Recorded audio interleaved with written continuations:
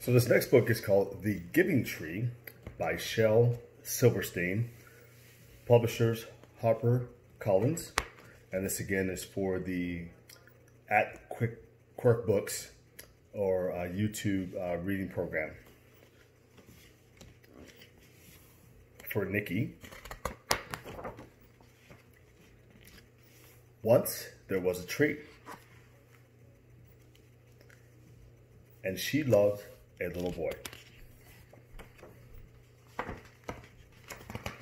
And every day the boy would come. And he would gather her leaves and make them into crowns and play king of the forest. He would climb up her trunk and swing from her branches. And eat apples.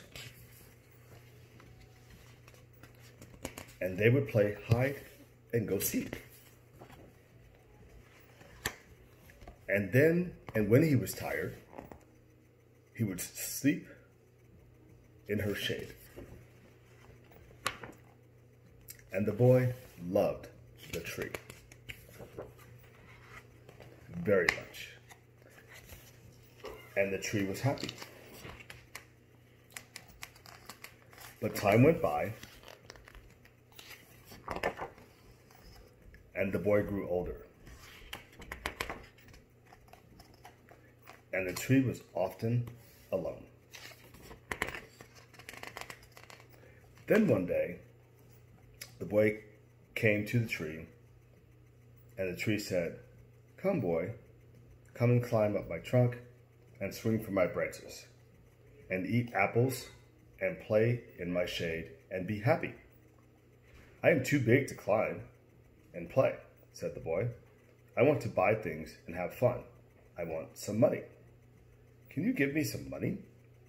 I'm sorry, said the tree, but I have no money. I have only leaves and apples. Take my apples, boy, and sell them in the city. Then you will have money and you will be happy. And so the boy climbed up the tree and gathered her apples and carried them away. And the tree was happy. But the boy stayed away for a long time, and the tree was sad. And then one day the boy came back, and the tree shook with joy. And she said, Come, boy, climb up the trunk and swing from my branches and be happy. I'm too busy to climb trees, said the boy. I want a house to keep me warm, he said. I want a wife and I want children. And so I need a house. Can you give me a house? I have no house, said the tree. The forest is my house, but you may cut off my branches and build a house. Then you will be happy. And so the boy cut off her branches and carried them away to build his house. And the tree was happy. But the boy stayed away for a long time. And when he came back, the tree was so happy she could hardly speak. Come, boy, she whispered. Come and play. I am too old and sad to play, said the boy. I want a boat that will take me far away from here. Can you give me a boat? Cut down my trunk and make a boat, said the tree. When you can sail away and be happy. And so the boy cut down her trunk and made a boat and sailed away. And the tree was happy, mm, but not really. And after a long time, the boy came back again. I am sorry, boy, said the tree, but I have nothing left to give you. My apples are gone. My teeth are too weak for apples, said the boy. My branches are gone, said the tree. You cannot swing on them. I am too old to swing on branches, said the boy. My trunk is gone, said the tree. You cannot climb. I'm too tired to climb, said the boy. I am sorry, sighed the tree. I wish that I could give you something, but I have nothing left. I am just an old stump. I am sorry.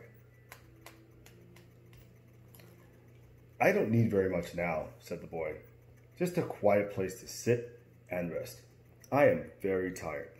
Well, said the tree, straightening herself up as much as she could.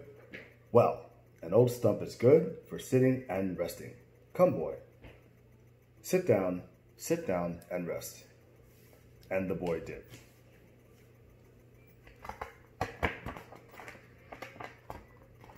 And the tree was happy. The end. Again, this was The Giving Tree by Shel Silverstein.